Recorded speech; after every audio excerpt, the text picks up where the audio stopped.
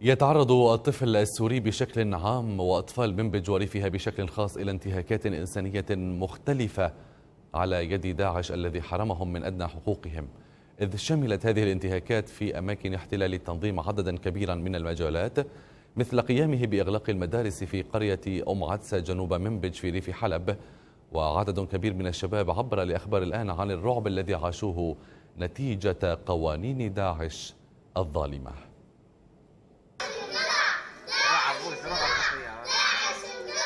كنت مدير خشفة معدسة قبل وصول داعش إلى هذه المنطقة. وعندما كنا نداوم في هذا المكان في هذه المدرسة وصل التنظيم إلى هذه المنطقة ومنع التعليم في هذه القرية. فصار لنا اليوم أكثر من سنة وثلاثة أشهر بدون تعليم أطفال المدرسة كلهم هؤلاء الأطفال بدون تعليم. منعوا التعليم نهائيا.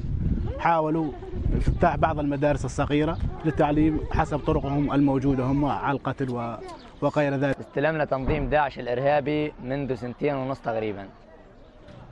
وقام قام يتمدد ويتمكن ويشدد على العالم. اللي يحلق دقنه بياخذه يسوي سواتر تراب على الجبهات على جبهات الديمقراطية وعلى جبهات النظام.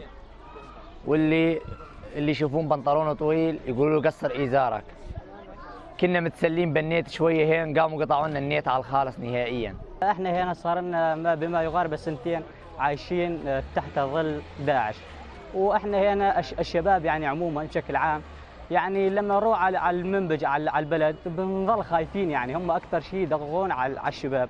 يعني مشان الدغن ايزار شعر بنظل خايفين يعني. بنروح على البلد لمدة نص ساعة ونرجع وإحنا خايفين يعني. يدققون كثير مو شيء وشوي. ومنعوا عنا كل شيء يعني. الساعة حتى الساعة بدك تلبسها بالإيد اليمنى ممنوع تلبسها بالإيد اليسار.